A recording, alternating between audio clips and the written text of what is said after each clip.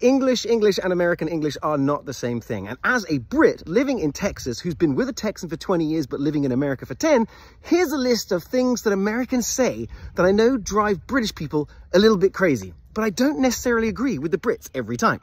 First up, pants. Brits say trousers and they hear the word pants and they go, well, that just sounds a bit ridiculous because Brits call their underwear pants. Pants is short for underpants. Under pants, guys. They go under pants. That's why you have underpants and then you have pants. So I'm with the Americans on this one.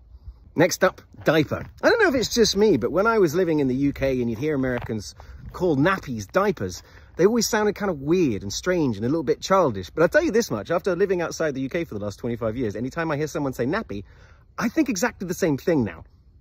The next one's a stone cold classic, soccer instead of football. Now, before anyone digs into the history about Brits invented the word soccer as a shortening of association football, we're we're gonna get past that because football, as in soccer, football is a game played primarily with your feet and a ball. Football. Whereas American football is played primarily with your hands. I think the middle ground is calling it American football. We have Australian rules football, we have American football, and we have football football. Though I will admit that rugby, a game very popular in the UK and around the world played primarily with your hands, is a shortening of rugby football. So maybe everyone's wrong. This next one, I'll admit, does make my eye twitch a little bit. It just sounds wrong to me when Americans say they've done something on accident. On accident. Like a Brit would say, oh, I did it by accident. It just sounds strange. It just sounds wrong. And honestly, when someone says it, I have to bite my tongue to stop from trying to correct them like a three-year-old not quite getting the English language right. But I suppose the theory behind it is you can do something on purpose. So I guess you can also do it on accident. But mm, it just sounds wrong to me.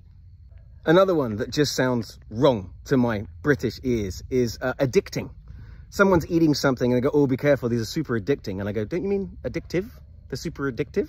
Addicting sounds like, oh, you just haven't quite figured out the language right. You know, you're primarily, oh, I speak French, but I'm trying to learn your language. And I, oh, it's addicting? Addictive? Oh, it's addictive. Yeah, just sounds wrong to me.